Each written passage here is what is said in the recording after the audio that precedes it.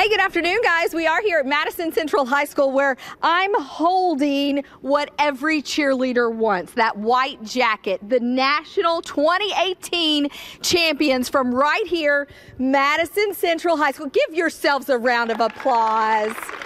Man, oh man, congratulations to this team and to this incredible coach here. Coach Karen Feldhouse is with us. How many years have you been doing this?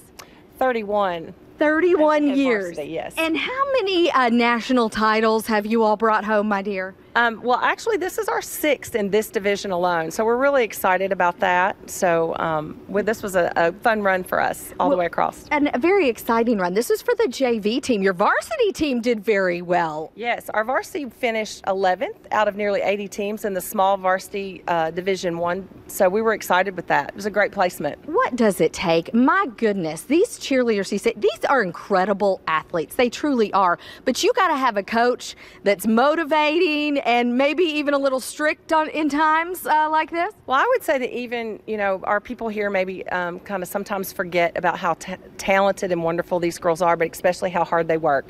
They practice six days a week, and we are very blessed here at Madison Central. We have a practice facility that allows us to do that, and um, we have tumbling coaches and stunt instructors and choreographers, and so we just work around the clock by 11 months a year. Yes, you do.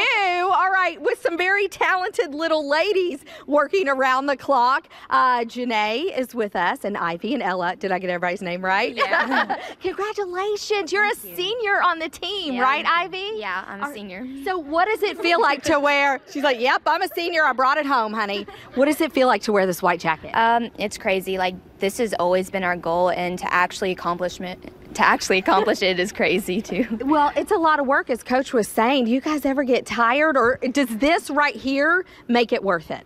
Yes, ma'am. It makes it worth it because we put in a lot of hard work throughout the year. So when we win, it's a good feeling. Yeah, heck yeah, it's a good feeling. And then all your schoolmates, everybody's cheering you on when you all come back. And I understand we even come back not feeling so good, but the, the show must go on, right? Yes. All right. Well, we have a show for you guys because coming up at 4:50, the team is taking to the mat. We are going to see the routine that they won their national championship with. I'm Deanne Stevens out and about Madison Central High School Indians. Congratulations again. Thank you.